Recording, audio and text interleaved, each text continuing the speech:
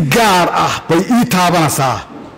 Marka maalin kasta haldoorkii deegaanka la laynayo marka meeshii dawladi ka jirto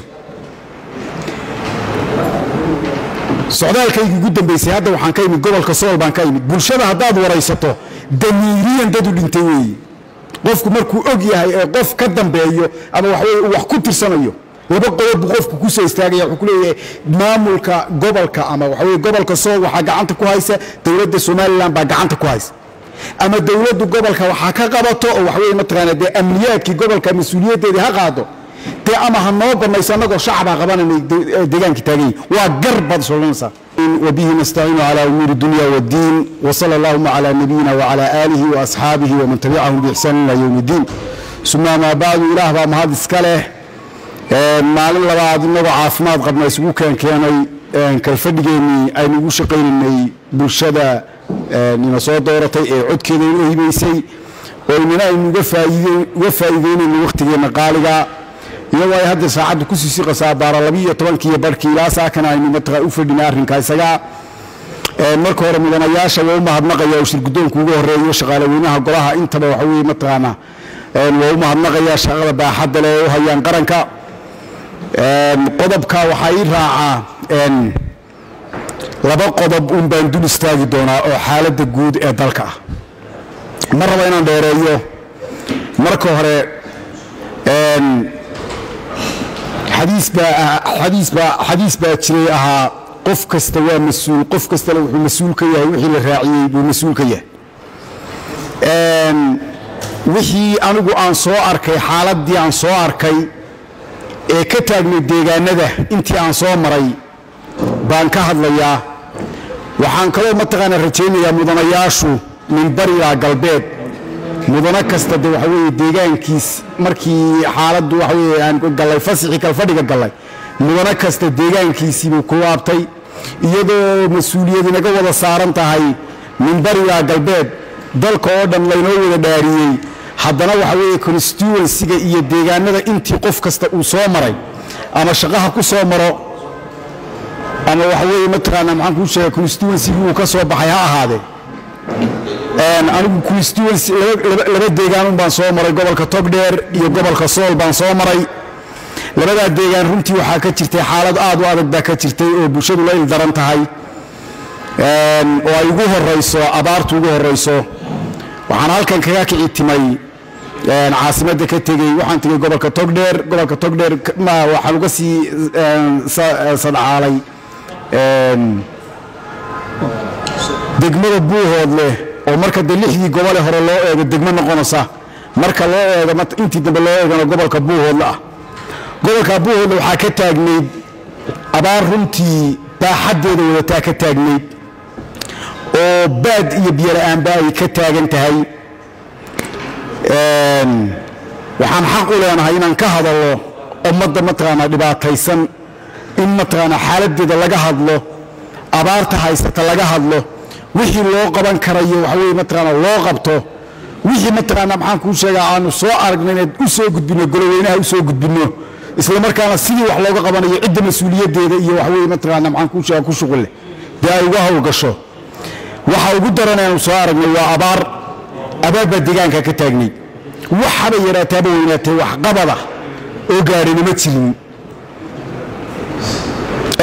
annagu iyadaanu meesha u joognaa waxa aanu waxaweye ka soo aragnaanu u gudbinaynaa waanu u hadlanaa geed kasta iyo golo kasta baahidooda waa la istaaganaa qodob waa kaa. Deegaankaasu markaa waxa weeye mataqaanaa aad buu oomanaa dowladnimada waa ka oomanaaw aad buu dowladnimada uga oomanaa dee goloweynahana waanu u soo sheegnay waanu sii wadi doonaa qodob waa qodobkaa waxa weeye cidda mas'uuliyaddeeda qaadasana waxa weye mataqaana maxaan kuu sheegaa dee ciddii ku shuqul leh baa mas'uuliyaddeeda qaadasa. Qodobka kale waxaa weeye gobolkayga labaad iyadoo mataqaana gobolladoo dhan ii sameeyey haddana gobolkayga labaad ee constituencyga the second constituencygayga oo sool ah waxaa ka taagnayd dhibaato aad u adag baa ka taagnayd. Waxaa ka taagnayd in lagu laynayo dadkii haldoorka ahaa ee u dhashay gobolka u dhashay lagu laynayo in ka badan boqol iyo dheeraad qof oo wax allaale iyo wax adduyaala wax ay sababsadeen aan la garanahayn oo deegaankaa lagu dilay. Waxaa isweydiin mudan dadka qaybo ka midihii markii la laayey waxaan loo soo qabanin xitaa cid waxa cawo iyo ayaan ah. Marka qofka la dilo ee wax allaaliyo wax adduunyaala wax dilay aan la garanahayn ee meeshii dawladi ka taliso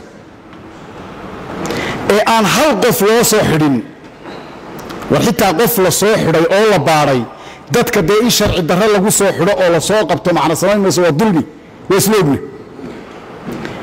laakiin cala alaqali bal qof la tuhmo oo la soo qabto oo aan waxaweeye haba yaraate haba weynaatee cid loo soo xidhin. Mashaakilkeedii dhibaatadeeda leedahay. Run ahaantii si gaar ah bay ii taabanaysaa. Marka maalin kasta haldoorkii deegaanka la laynayo marka meeshii dawladi ka jirto socdaalkaygii ugu dambaysay hadda waxaan ka imid gobolka sool baan ka imid bulshada haddaad waraysato damiiriyan dadu dhintay weeye qofku markuu og yahay ee qof ka dambeeyo ama waxaweye uu wax ku tirsanayo laba qodob buu qofku ku soo istaagaya. Wuxuu ku leeyahay maamulka gobolka ama waxaweye gobolka sool waxaa gacanta ku haysa dowladda somalilan baa gacanta ku haysa.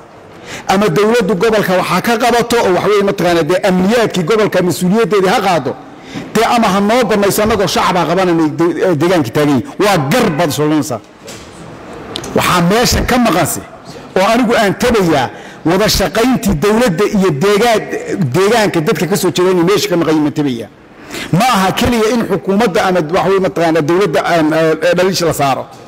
Dhaliisha dadka deegaankuna waxbay ku yeelanayaan. Dowladduna waxbay ku yeelanaysaa dowladdu waa xaqiiqa inay ka gaabisay waxa weye mataqaana amniyaadkii deegaanka ka gaabisay. Ilaa laba kun iyo sagaal ilaa laba kun iyo laba iyo labaatan waxaa ka socda dil joogto ah oo cid allaali iyo cid adduyaalo cid mataqaana maxaan kuu sheega maanta la odhan karayo waxa weye qofkii qofkaasaba dadkii dilay aan lahaynin. Dhibaatadu ma annagay nagu koobantao gobolka sool ah oo ma waxawey mataqaana ma heshiis gaaraa jiro oo widhano ma garan karna dee. Maxaa annaga gobolka sool gaar noogu yeelay dilalka qorshaysan maxaa somalilan inteeda kale. Dhibaatada mataqaana maxaan kuu sheega waxaweye baakiro eeg bulsho ahaan waxaan nahay dad isku wada midabayna dad wada somalilan dirayna dad dowladnimadu ka wada dhaxaysayna dad islaamaynu nahay waxawey mataqaana maxaan kuu sheegaa waxaweye wax walba ka dhexeeya waay dadkuga diirna xile ayiin dhibaatada ka socota gobolkan. Haddii mataqaana maxaan kuu sheega gobolladii kale matalan lixdii shantii gobole kale amni yihiin nabad lagu naaloonayo anugu shaksi baan waxaan ahay mataqaana xildhibaan baan golaha wakiilada. Marka aan taga deegaanka laascalay waxaa igu baxaa kharashka igu badan baa igu baxa. Waxaana ka haystaa ugu yaraan toban askari baan ka haystaa. Waa dhibaato inaan mataqaana gobol kaloo aanan u dhalanin aan ku nafiso oo sida ay tahay aan ugu nafiso kii aan u dhashayna aan markaan tegayo kaxaysta ciidanka ciidanka ugu badan kaxaysto sida militariga oo kale aan kaxaysto nagu dhibaatada noocaasa gobolkii ka taagan waa waxaanu soo aragnay isuduwayaal baan badbaadahayn guddoomiye maxkamad baan badbaadahayn guddoomiye komishin baan badbaadahayn waxa weeye mataqaana dadka la laynaya waa dadka dowladda u shaqeeya dhibaatada kale.